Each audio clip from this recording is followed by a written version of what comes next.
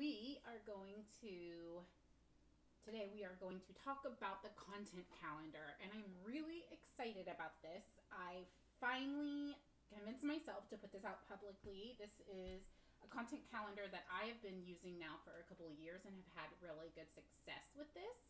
Um, now it is this is not necessarily a very specific content calendar, but it's a visual and it will help you know what to post.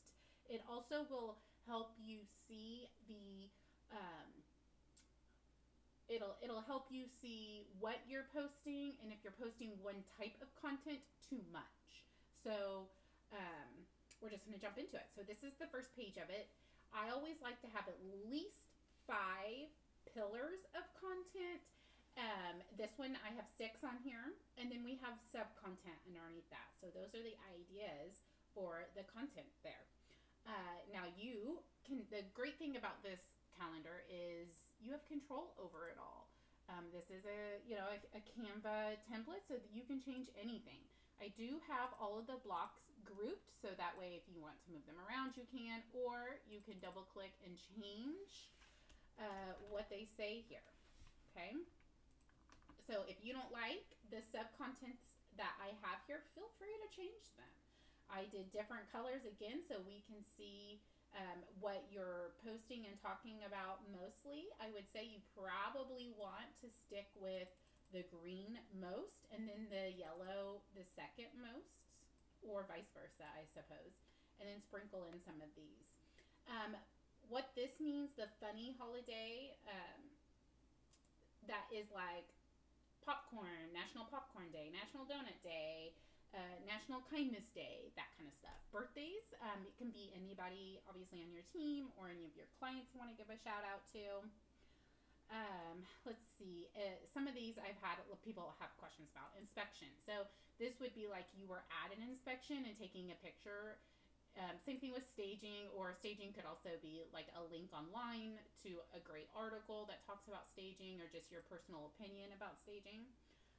The reason why I think those two are important and should be on there is because it does show that you are in the industry. It's setting you up as the local expert, um, and it's also showing guys that you have more knowledge than just buying and selling, but also um, that you have the knowledge of how to get it done better and potentially more efficient, and then just your knowledge base as well, especially with those inspections. Now, if you don't, if you're a new agent and you don't have some of those things, um, something that I have done is ask other agents maybe for funny pictures or just go online and if you find a funny picture just make sure that you reference where you found the picture or who it belongs to but there's some funny stuff especially if you go on pinterest and um, search some stuff on there and you'll find some funny things. Now down here over here to the video um, market update uh, you could walk around your community and introduce people to your community. You could interview local people uh, you could do a listing walkthrough or a live video facebook still is uh, loving their live videos. Uh, if you want to get more engagement organically, a live video is a great option.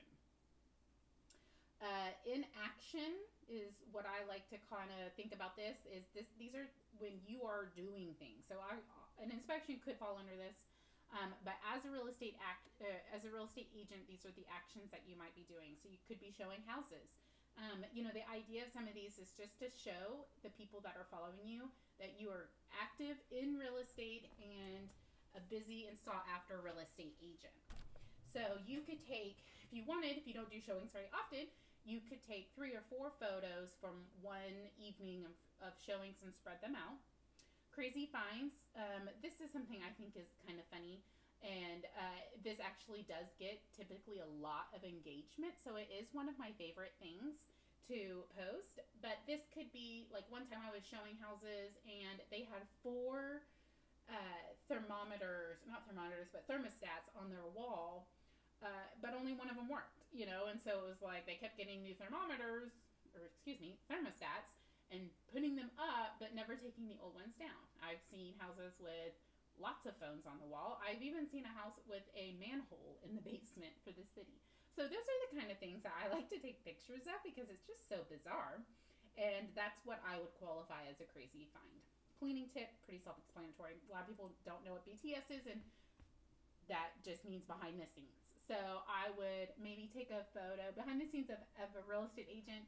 You know, you could set your photo up or your camera up to video you uh, trying to put a sign in the frozen ground. I mean, how many of us have been out there trying to stuff a sign in the yard when the ground is just one big block of ice? It can be rather funny. um, this could also be you coming home late at night to kiss your kids on their forehead because you missed bedtime. You could also do a photo of your passenger seat in your car because you have a hundred listing printouts. Uh, you know, all kinds of stuff could be behind the scenes. The engagement, this is probably one of my favorite. And my big tip, and we'll kind of talk about this in a second, my big tip is to make sure that these yellow squares of engagement are sprinkled in between most of the rest. Now, that is because if you do a just listed or just sold, those typically don't get a lot of engagement naturally on Facebook. So when you have a post that has a lower engagement, you want to follow it up with a post that typically has a higher engagement. So that way, Facebook doesn't think you're posting boring stuff. You know, you're constantly re engaging your audience. So this or that, you know, would you rather have the city view or country view? That kind of thing. Um, my big tip for that is to make it very, very easy for people to answer. So I usually say, do you want number one, country view, number two, city view, or A, country view, B, city view. And so then that way, if people want to write more, they can, but they could also just simply type in A or B. Um, question I have a post going up either today or tomorrow of a kitchen that has a special nook in the cabinetry for their dog and he even has a pot filler in there so that way you could fill up the dog bowl with water. So the question is, would you love this in your kitchen? You can find a lot of these images online. Again, you want to make sure that you are uh, quoting who took the picture, if you can find it, or maybe even the web address you found it on. About me and my why. Um, similar, but sometimes I like to make the about me maybe a little bit more silly. About me, did you know I had 15 pugs, you know, or um, I collect ceramic porcelain dolls. I don't know. That's weird. But my why is a little bit more personal and maybe more serious. You know, I do this for my kids. I do this because I want to travel, etc. Quotes. Um, quotes could be a lot of times you see people like um, doing more like uh, definitions of words used in real estate. So buyers tips, sellers tips, this is what this kind of financing means, different types of financing. That's kind of what I was thinking in the quote section. And obviously, testimonies are um, testimonies that you've gotten from your clients. That's a run through of post categories. Again, you can add, if you want to add a box here, just click it, copy on your keyboard, and paste. Okay, you can also click it, right click, um, copy and paste. And if you don't like it, you just highlight it, hit that delete button. Uh, okay, now we did talk about videos. I did put in here just a really quick live video idea. And then this is January. So you can see I have on here, I have all the way through December. And they look similar because that's just how it is. Is a lot of times you are going to want to put similar things on your Facebook, but I did change up some of those um, categories in between. So we're just going to jump over here to January and you'll see that I have a lot of green and a lot of times the green will have two because if you're selling a lot, you know, you don't want to just bombard your page with just listed or just solds. Um, people are going to stop paying attention. So you also want to include a crazy find or this or that, and you can move these around. If you don't like it on that day, you can move it around. Or if you have open houses on Sunday, then put open houses on Sunday. I think I did that down here. Yeah, here we go. so here I have open houses.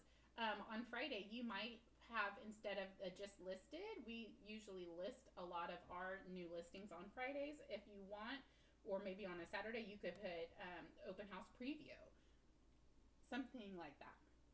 Um, I've gone through and I've inputted the major holidays of 2021. Seems weird to say it like that. Uh, but I kind of did an idea of what I might do. But again, this is your content calendar. So you can move these blocks around however you would like. And the days you can um, keep this and, and redo it for next year. You'll just have to redo the days on there. Uh, so this is very easy. If you guys have more than just a real estate company, if you do, let's say, property management or commercial, again, you can change these blocks to say whatever you want and move them around. So what I would do after I got my month, how I would like it, is then I would go here to this download button, and typically I just download one at a time because it's not unusual for me to jump in and change it um, kind of pivot if I had a plan one month and I didn't feel like I got very much engagement to the next month do something different. So here I'm on page 8, which is June. Uh, and then you'll see here page 8 June. So I just click that one box. It's only going to download this one page that is shown. You can do it as PNG, JPEG, uh, a PDF. So I would probably just do standard PDF. Um, download that and then just print it out. And I leave it beside my computer, and that way every day I know. Now, if you want kind of a advanced suggestion, I also use the website Later, L A T E R, and that does allow me to schedule out for Facebook and Instagram. So, on the ones that are not like a current post like you're just listed, just sold, that kind of stuff, that is a little bit more immediate that you would want to post. For the ones that are like the crazy finds, the questions, the testimonies, the this or that, you can sit down in one day and you can schedule out all of those to be um, published for you on Instagram and on Facebook with hashtags and all of that good stuff. So that way you're not constantly having to sit down every day and post something. You know it's going to go out. So I just want to um, give you guys a really good overview of what the content calendar is, how you can use it, and how it can help you in your real estate life. So I hope this was helpful. I hope you guys leave me some feedback. Let me know what you think. If there's something I'm missing on here, or there's something else you would like to see, please feel free to leave me a comment or contact me anytime. And I can't wait to uh, work with you guys and see you on the next video. Okay, I hope you guys have a great day, and we'll talk to you soon.